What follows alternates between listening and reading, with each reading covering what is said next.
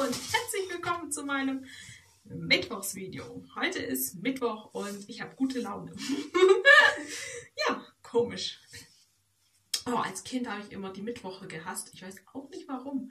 Ich fand Mittwochs immer schlimmer als montags, oder? Man kann es nicht beurteilen. Aber auf jeden Fall fand ich Mittwochs immer schlimmer, weil am Montag war immer Serienabend am Dienstag kam nicht, kamen auch noch, kam Film. Nee, da kam immer CSI. Und am Mittwoch war immer irgendwie nur so dieses Schnulzenzeug. Das mochte ich nicht. ja, gut.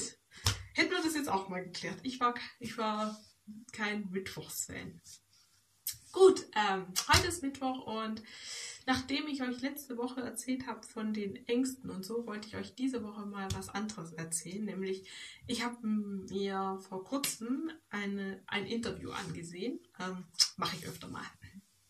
Ja, so dieses andere Leutes Meinung hören kann manchmal helfen, ein wenig sich weiterzuentwickeln und auch einfach neue, neue Gesichtspunkte auf Dinge zu bekommen, die man bis dato noch nicht hatte. Ja, auf jeden Fall war es so, dass ich mir dieses Interview angeguckt habe und ähm, irgendwann hat da einer von denen, hat der, ich habe gerade voll den Hänger, ich bin mir jetzt gerade nicht sicher, ob es jetzt der Interviewte oder heißt doch Interviewte, ne? Mhm. Ja, der interviewte äh, Mann hat dann gesagt, dass, äh, dass er mit Politikern geredet hat, weil er selbst eine Zeitung rausgibt, den Falter nämlich. Ich werde euch das einfach den Link mit in die Infobox verlinken. Dann könnt ihr euch das Interview auch angucken. Ist hochinteressant. Jedenfalls fand ich das, weil jetzt mal einen anderen Blickwinkel. Oh, wie schön. Und mein Hase knutscht jetzt, die, knutscht jetzt mit unserem und mit unserem Telefon. Telefon durchkaufen. Nee, der knabbert da. Nicht heute habe ich ein kleines Problem. Mein, meine Kamera, ihr Akku ist fast leer, also habe ich zwischendrin Unterbrechungen und muss es nachher dann zusammenschnippeln und zusammenfügen. Das muss dann heute wohl mal sein. Gut. Ähm, ja, auf jeden Fall hat der gesagt, dass es so ist, dass sich die politischen Themen alle drei Monate wohl eigentlich ändern. Und dass es so ist, dass es, dass es eigentlich schon fast faszinierend ist, dass das, dass, die, dass das Thema Flüchtlinge heutzutage so unglaublich Dauerbrenner ist, dass es eigentlich ähm, ja, normalerweise nicht so wäre. Das war jetzt sehr viel rumgestottert. ja, aber als ich das so gehört habe, habe ich mal drüber nachgedacht, dass es eigentlich wirklich stimmt. Dass wir heutzutage in einer Lage sind, wo wir alles gefühlt über die Flüchtlingsgeschichte debattieren. Ich möchte jetzt mal echt mal kurz mich dran zurückerinnern. Also als ich fünf war, habe ich auch schon gehört, dass es viele Menschen gibt, die im Hartz-IV-System leben, die in Armutsgrenze leben, die Hungernöte haben und die nicht genug Geld haben. Aber heutzutage heißt es immer bloß, die Flüchtlinge nehmen uns das Geld weg und unsere Armen kriegen nichts mehr. Ähm, die haben auch schon früher nichts gekriegt. Also, ich möchte jetzt nicht, ich möchte jetzt so sein, aber die haben auch schon früher nichts gekriegt. Und, und dann auch so ein beliebter Satz, den man immer hört, die nehmen uns die Wohnungen weg. Übrigens, nur um zu informieren, ich habe mir nicht in den Finger geschnitten, ich habe mir bloß von der Nesselzucht hatte ich noch einen Rest ähm, Hautlappen und den habe ich mir abgezogen. Ist nicht so gut gelaufen, wie man sieht. ja. Gut, ähm, auf jeden Fall war es schon so, dass das heißt immer so gerne, die Flüchtlinge nehmen uns die Wohnungen weg. Die kriegen sofort Wohnungen, die haben sofort Wohnraum und so weiter. Und deswegen haben wir keinen Wohnraum mehr.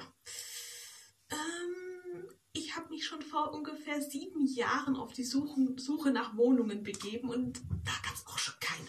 Also ist nicht so, dass es seit den ersten Flüchtlingen kaum noch Wohnraum gibt. Es gibt allgemein nicht.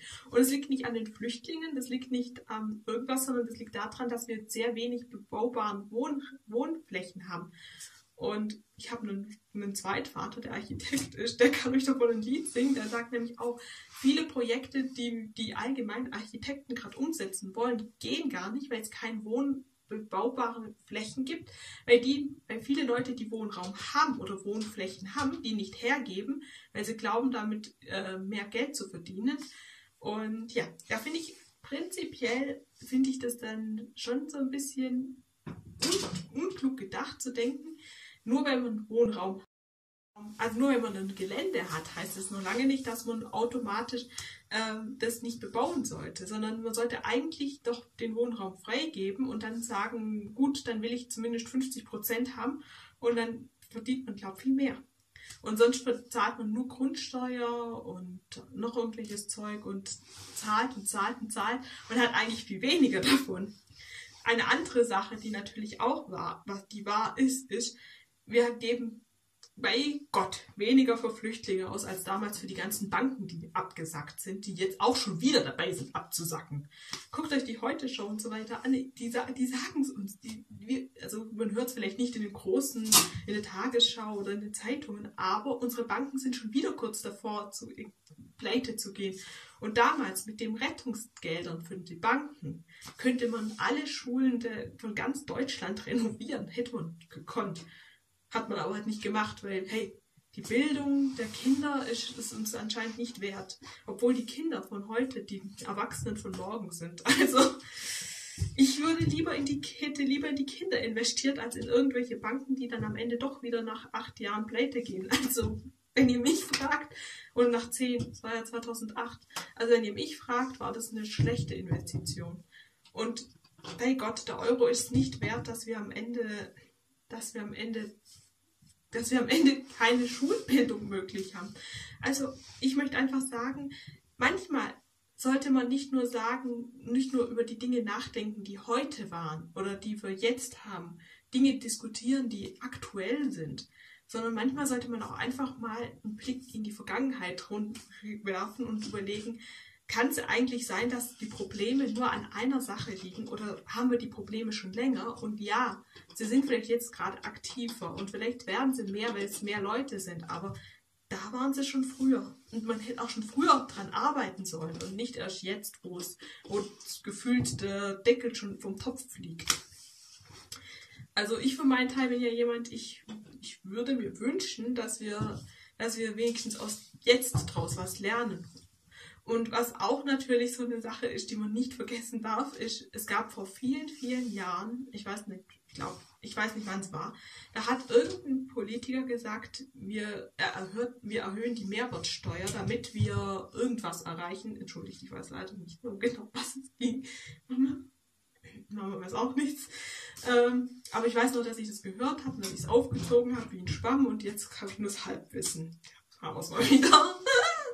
Ja, aber auf jeden Fall ist es so, dass der gesagt hat, wir erhöhen die Mehrwertsteuer nur für ein paar Jahre, bis irgendein, irgendein Geldziel erreicht ist. Und das Geldziel ist jetzt erreicht, aber die Mehrwertsteuer wird trotzdem nicht wieder gesenkt, weil, hm. Aber was ich natürlich einen Satz finde, den ich, ähm, wo ich nach jetzigem Stand, nach meinem subjektiven Meinung und meinem Hasensein, ich schmeiß gleich das Häuschen um, mein. Seht ihr, da haben wir es. ähm, muss ich, dass ich es auch ein wenig vernünftig finde, was unser aktueller Finanzminister macht, weil er sagt, ja, Deutschland geht es gerade gut. Und ja, wir könnten jetzt das Geld rausgeben und raus ausgeben für andere Dinge. Aber der denkt auch noch an die Zeiten, wenn es nicht so gut läuft. Und das finde ich eigentlich immer eine kluge Entscheidung, weil ich für meinen Teil, ich handhab das ja auch so. Ich bin jemand, ich, ähm, ich denke nicht nur an heute, ich denke auch schon an morgen. Und sogar schon an meine Rente. Also, ich bin jetzt 25, da muss man an die Rente denken. Ich habe schon, mit, hab schon mit fünf überlegt, ein Testament zu schreiben. Also, es manchmal hilft es einfach auch mal, und ich finde es einfach gut und auch hilfreich, wenn wir manchmal nicht nur dran denken, was heute ist und nur denken, ja, heute haben wir die Gelder und so weiter, sondern wenn wir auch mal drüber nachdenken, was ist, wenn wir die Gelder jetzt ausgeben und wir dann ein Problem kriegen, weil dann ist das Problem größer. Was ich natürlich auch sagen muss, ist, ich wäre froh, wenn wir zum Beispiel also die Gelder nicht in irgendwelche komischen Dinge investieren würden, sondern vielleicht mal in die Zukunft der Kinder, in den Umweltschutz, in Dinge, die nachhaltiger sind. Und ja, das wäre sowas, was ich mir noch wünschen würde, wenn ich mir was wünschen könnte. Oder vielleicht auch in den Tierschutz. Ja, wie wär's denn damit? Für jeden Hasen ab jetzt fest jeden Tag eine Karotte.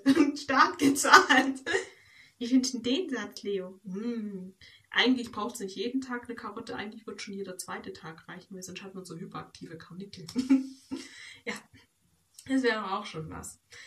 Gut, das war sowas, was ich mal, wo ich mir mal meine Gedanken mit euch da draußen teilen wollte und einfach mal interessiert bin, was ihr dazu meint. Schreibt es mir gerne in die Kommentare. Ihr könnt mir auch gerne auf Twitter oder Facebook schreiben oder eine E-Mail an die bell.rietemaldoutlook.com. Ja, ich bin froh, dass ich das jetzt in den Kasten bekommen habe, obwohl mein Akku leer ist. Yay! Ich freue mich. Gut, ich wünsche euch eine schöne Zeit. Wir sehen uns wieder am Freitag. Bis dahin. Ciao.